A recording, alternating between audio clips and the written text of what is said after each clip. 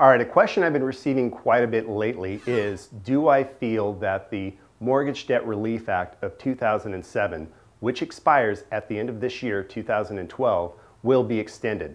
Now, very briefly to explain what that is, is that is a IRS provision that basically states if you're going to do a short sale and this is your primary residence and you have not pulled any money out above and beyond the original loan amount, that if you do a short sale, you will not have to pay any taxes. Now, in order for this to happen, your property also has to be sold by the end of this year, 2012.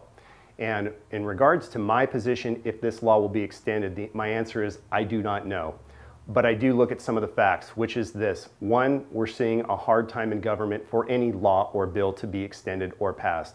Next, and that's primarily based on the fact that we have different parties in each of the different houses.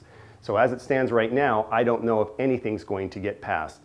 Now, if after the elections and everything lines up such that it's all one party, one way or the other, it's possible. But who knows, it may take a long period of time for, it, for them to be able to get this through and extend it again.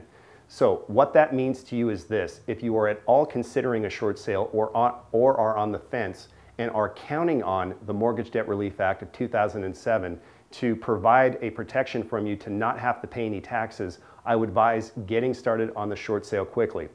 Most people know that a short sale can take a, you know, a couple of months, if not you know, a year. So what that means, as we're here at the beginning of 2012, that you want to get your property listed and sold before that time frame.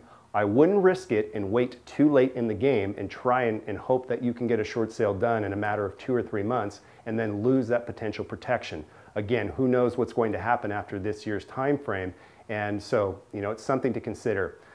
Uh, one thing that I always advise is to talk to your tax advisor to determine if you would be eligible for any of the other exemptions out there for not having to pay taxes after a short sale. And that way you know a little bit about uh, what your timing may be in this particular circumstance. So again, that's just my position on whether or not the uh, Mortgage Debt Relief Act of 2007 will be extended. Who knows, but to be safe, I would advise getting started on your process right away. Thank you very much. I'm Kurt Wannebo with ShortSaleInSanDiego.com and San Diego Real Estate Investments.